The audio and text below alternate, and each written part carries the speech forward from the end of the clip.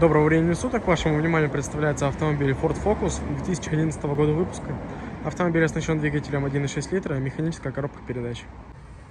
Чисто опрятный задний ряд сидений, дверные карты, передние карты, кресла, торпеда, все также в отличном состоянии.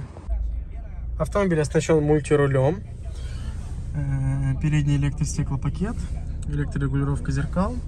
Здесь у нас идет управление светом, штатная мультимедиа, отопитель салона с кондиционером, подогрев лобового стекла, подогрев передних сидений в четырех режимах, очень хорошо.